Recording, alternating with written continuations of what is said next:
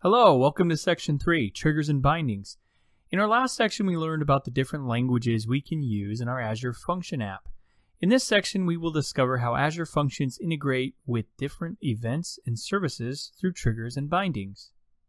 In this section we're going to take a look at basic triggers and how to bind inputs and outputs, storage triggers, event-based triggering, and some advanced binding tricks. Now we move on to the first video of this section. This one introduces triggers and bindings.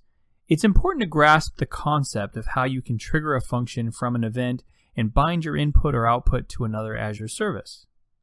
In this video, we're going to take a look at what a trigger is, what bindings are, types of triggers and bindings, and finally, how you can manage your Azure Functions triggers and bindings. Let's start by defining a trigger. A trigger defines how a function is invoked.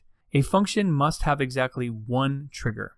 Triggers have associated data, which is usually the payload that triggered the function. So then what is a binding? Input and output bindings provide a declarative way to connect to data from within your code. Similar to triggers, you specify connection strings and other properties in your function configuration. Bindings are optional, and a function can have multiple input and output bindings. For this section, we'd like to create a brand new function app in order to keep our functions organized. So go up to the top left and click on New. And we could, of course, just type function app here, or if you want to browse to it, let's click on Compute. And then scroll down until you see function app. All right, for the app name, I'm just going to say section 3 and first initial last name. And then resource group, we'll call it RG-section 3 choose the location close to me, and then I'm going to come up with a storage name that's a little easier to see. There we go. I'll click create. Okay, about 30 seconds later, it should be created. You can find it by going to your all resources and then just choosing the function app that we created earlier, section 3 Poliver. Of course, your name will be in the name of your function app. All right, we're now in our function app. They've changed the look and feel a little bit, but it looks pretty similar to our previous video, so you shouldn't get too lost. In order to create a new function, click over here to the right on the blue plus, and here we have a familiar looking screen. So let's just do a C sharp, and then we're going to just say create your own custom function here. And I'm actually going to choose C sharp in this drop down, and then we're just going to do a manual trigger. The default name is fine. Click create. And here we have a function that is manually triggered. So looking at the triggers in bindings is pretty easy. You just go to the integrate tab for your function and let's break this down a little bit. So your triggers are defined here. You only get one trigger and there has to be a trigger. In this case, we are using an input trigger. Then you have other inputs that you can draw upon into your function. And then we have an output.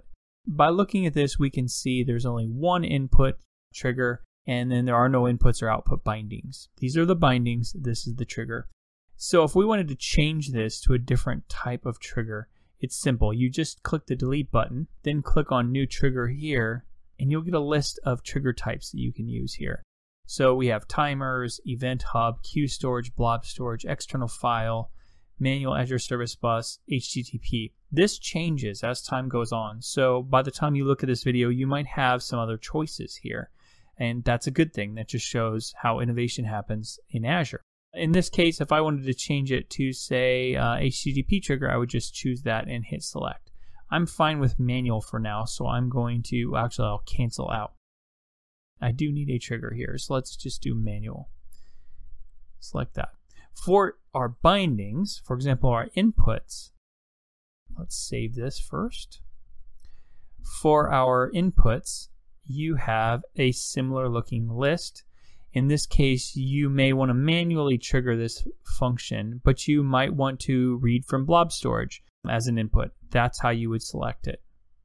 And you can now add it. It'll tell you a path. You have some parameters that are custom to this input. What if you wanted to also read from something different? Like, uh, let's, uh, here, let's save this first. All right, so what if we also wanted to read from DocumentDB? You can just click on New Input and then choose Azure DocumentDB as an input to your function. And then by hitting select, then you get some, uh, some form fields for you to fill out in order to set this input up. And I'll cancel out of this. You also have different ways to output from the function. we actually have more output methods. Um, we have everything from Event Hub, Service Bus, HTTP responses, SendGrid, Twilio. You can see there's a lot of options. And again, as Azure innovates, as the Microsoft team keeps adding on to Azure functions, you're going to see more choices here. Odds are today, if you watch this video, you might have more options here. So I'm going to cancel out of this. So let's say you wanted to edit this file manually, or these inputs and triggers manually, like keep this in source control, like if you follow infrastructure as code. Click on Advanced Editor and you'll see the configuration. And here we have an input manual trigger. And we have an input here. It's a blob container and it's sitting in this path. Whether the function is disabled, that's all here. You can close out that editor and go to standard editor and you're back to the familiar integrate tab. But you can also see this file in the function navigator here, or this tab. If you click on View Files, you'll notice function.json. This is the exact same file we are editing on the Integrate tab in the Advanced Editor mode. So that's another way to get to it. If you like to keep it in this screen, you can just manage everything through here. As you change your inputs and your bindings and your triggers, you need to change your function signature. So in this case, we have an input and then this log file is passed in. On the Integrate tab, if I change this to foo and save it, and I come back here, this file, this function will fail. You'll see missing trigger argument name foo, and that's easy to remedy. You just say foo, save and run, and then, oh, I noticed there's another typo. I'm going to change input to foo and then run again